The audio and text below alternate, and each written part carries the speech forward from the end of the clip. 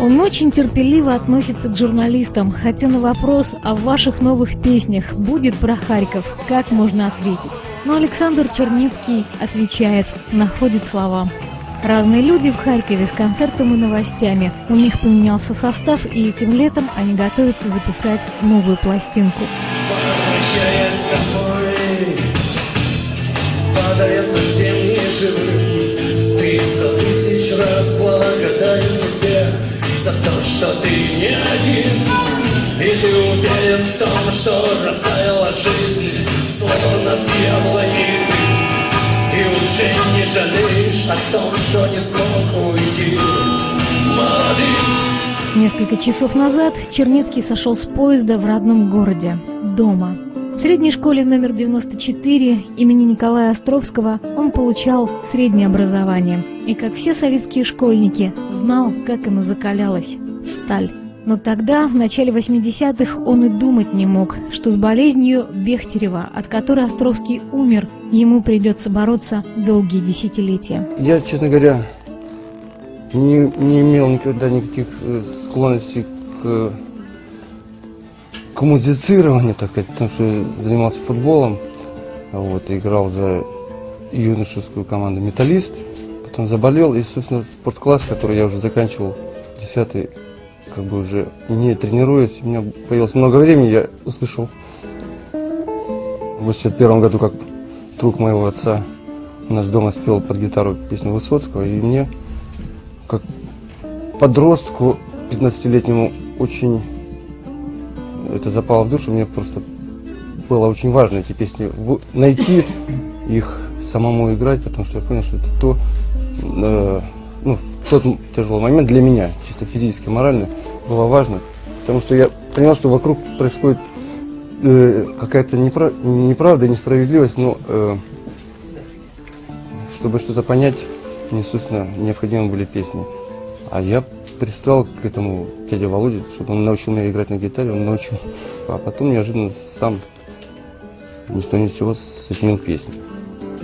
За 15 лет музыкальной жизни у разных людей вышло 19 пластинок. Стихи Александра Чернецкого вошли в антологию русского рока. Многие говорят о Чернецком как о самом пронзительном лирическом рок-поэте в истории рок-н-ролла. Не хватает бесшабашности, мне не хватает широты, Чтоб каждый шаг казался важностью.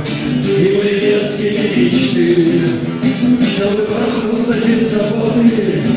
И я здоровый и шальной Чтобы отец пришел с работы В этом городе его ждут и всегда ему рады. Мы же верим, что благодаря исключительности места и времени появилась у Харькова своя великая рок-легенда. Любой, кто пришел на этот концерт, расскажет о характерной особенности разных людей. При записи на концертах они используют только живые инструменты и никогда сэмплы и компьютерную обработку. То, чем мы занимаемся, это в нашей стране абсолютно никогда не попадет ни на телевидение, ни на радио, потому что э, рок-н-ролл, он как, как, как и был в 80-е в андеграунде, так и сейчас, только за это как бы не сажают и минуты не вяжут. А те люди, которые слушают рок-н-ролл, они всегда знают, что он был, есть и будет, и они ждут концертов, ищут всякие пластинки. И, собственно, всегда с нами. И каждый год я вижу много новых молодых людей, которые интересуются, в частности, тем, что мы делаем. Харьковский концерт как большой квартирник. Даже повод есть. Три года рок-кафе «Агата» маленькому подвальчику на улице Революции, в котором играли чуть ли не все рок-музыканты СНГового пространства. Сегодня гуляем широко в ДК «Связи». Харьковский хор под гитару Чернецкого. Холодный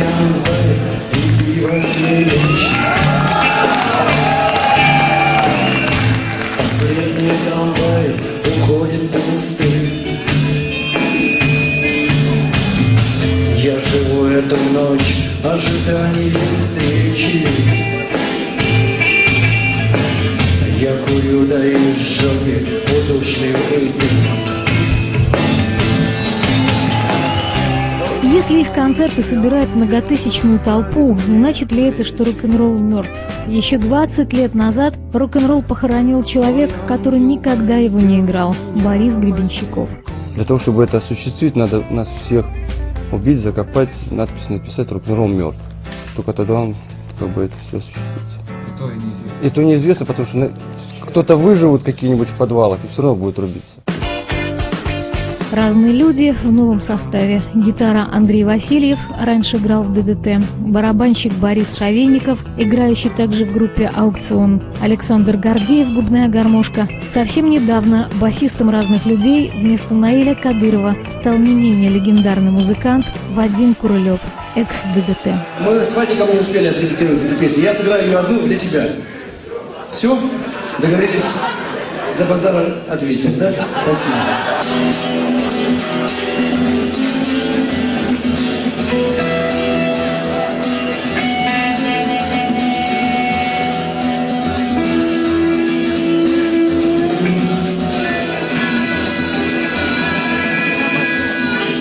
Мой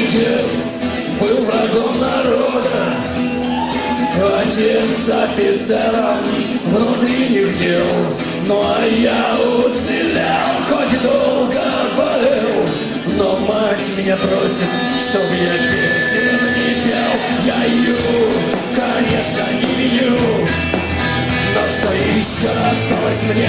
Только пены на руках, а в ее родных глазах Безысходность быстро, так и не поймем, как надо было жить Люди голосуют ногами и своими кровными, и это несмотря на то, что разных людей практически не услышишь на радио, не увидишь по телевизору. Рок как зрелище до сих пор воспринимается наотмашь, как пища для души, попадая в самое сердце, как манифест и откровение. Даже на фоне сытой буржуазности рок не стал просто поводом скоротать субботний вечерок. Вот вам задокументированное подтверждение. Концерт разных людей в Харькове. Пою песни, собственно, для тех, кто любит жизнь и понимает, что это самое ценное, что у нас есть.